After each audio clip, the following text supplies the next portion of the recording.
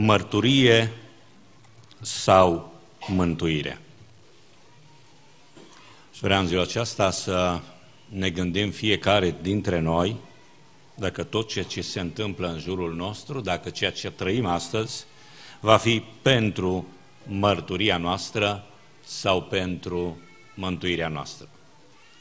Și pe scurt o să prezint trei lucruri care pot fi mărturie sau pot fi pentru mântuire.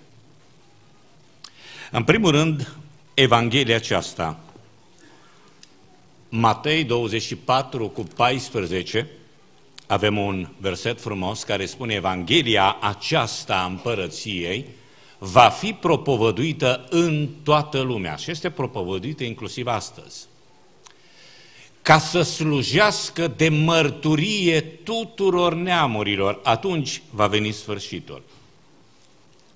Eu predic Evanghelia, nu toți oamenii cred, nu toți oamenii să pocăiesc, dar aceea este treaba lor. Treaba mea este să predic Evanghelia, pentru că Evanghelia aceasta va sluji, din păcate, unora doar ca mărturie. Într-o zi, când Dumnezeu va chema oamenii la judecată, te va chema și pe tine și primul martor pe care îl va aduce va fi Evanghelia aceasta care ți-a fost vestită, de care ai auzit, pe care ai avut-o, dar n-ai citit-o, n-ai crezut-o și n-ai împlinit-o.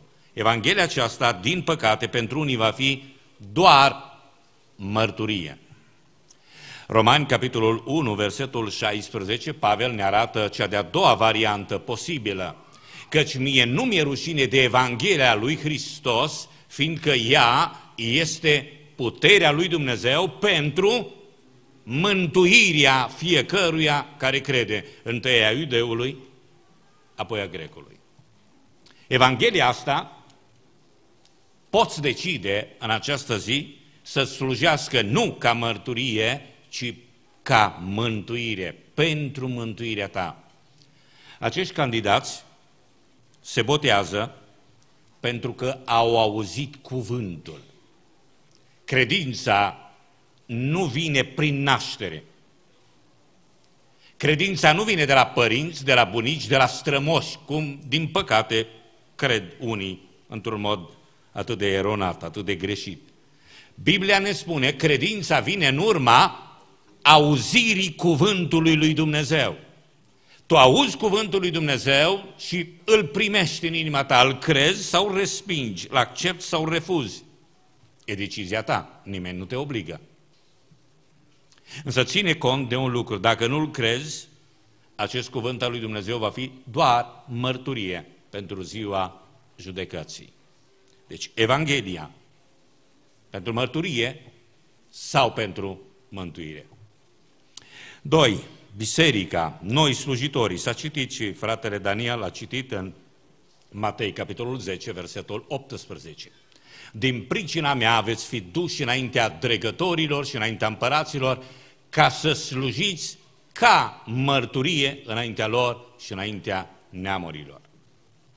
Noi, biserica, suntem o mărturie pentru cei din jurul nostru, suntem o mărturie pentru lumea asta, și suntem o mărturie în momentul în care depunem mărturia. Acești tineri se puteau boteza undeva acasă, undeva noaptea, să nu-i vadă nimeni, să nu-i știe nimeni.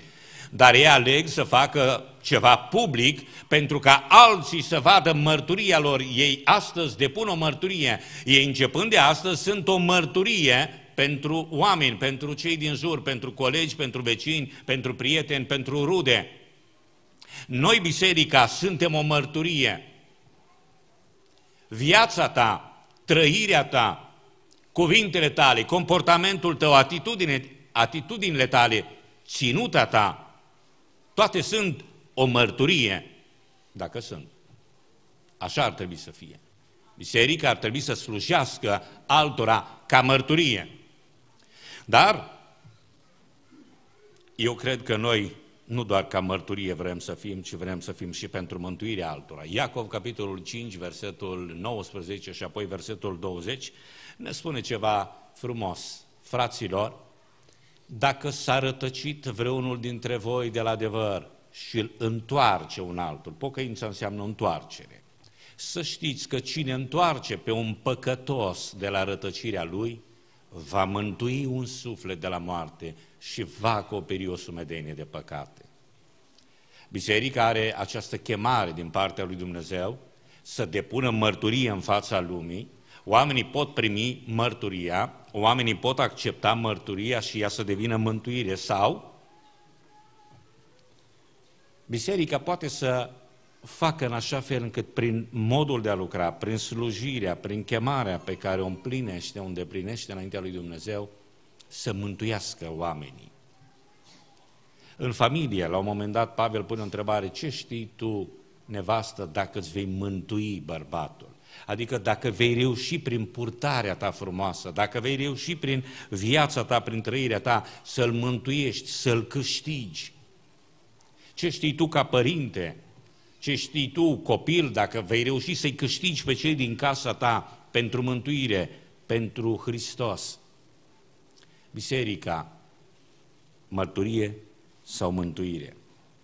Și în al treilea rând, în această zi, eu consider că ziua aceasta specială poate fi o zi de mărturie. Ziua aceasta este o zi de mărturie. Avem în Isaia, capitolul 30, versetul 8, un cuvânt care spune Du-te, acum zice Domnul, descrie aceste lucruri înaintea lor pe o tăbliță și sapă-le ca într-o, într carte, ca să rămână până în ziua de apoi, ca mărturie pe veci și în veci de veci. Și în Maliachi, capitolul 3, versetul 16, un verset pe care îl cunoaștem și îl citim de multe ori, atunci și cei ce se tem de Domnul au vorbit adesea unul cu altul și cred că astăzi este contextul acesta, cadrul acesta.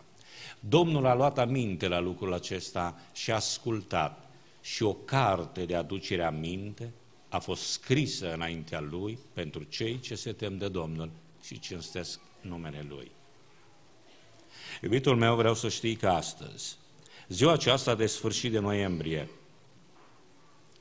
rămâne o zi scrisă în istoria vieții tale, o zi în istoria acestei planete, o zi în istoria acestui univers și într-o zi, în ziua judecății, când Dumnezeu te va judeca, dacă nu ești mântuit, ziua aceasta va sta ca mărturie pentru tine, pentru că ai ascultat Evanghelia, pentru că ai fost prezent aici, dar ai decis să râzi, ai decis să spui că nu-mi trebuie, nu-mi convine, ai decis să critici, ai decis să spui poate altă dată, va sta ca mărturie. Ziua aceasta va sta ca mărturie.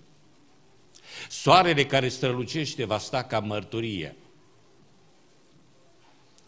Pereții acestei biserici vor sta ca mărturie.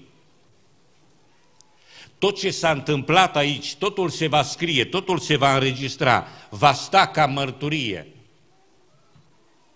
Înregistrarea asta online va sta ca mărturie într-o zi că tu ai ascultat Evanghelia, că ai luat la cunoștință faptul că Iisus Hristos a murit pentru tine, s-a jertfit pentru viața ta, a venit și vrea ca tu să fii mântuit, dar tu ai spus, ori că ești prea neprihănit și n-ai nevoie de pocăință, ori că ești prea păcătos și poate altă dată, întâi să mai rezolvi ceva, nu știu care sunt scuzele tale, dar te asigur de un lucru, înaintea lui Dumnezeu, ziua aceasta, botezul acesta, evenimentul acesta, sărbătoarea aceasta, într-o zi vor sta ca mărturie.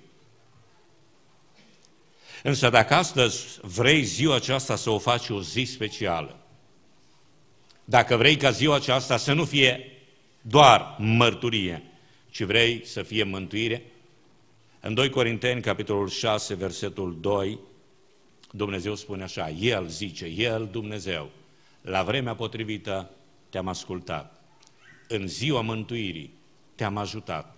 Iată că acum, acum este vremea potrivită.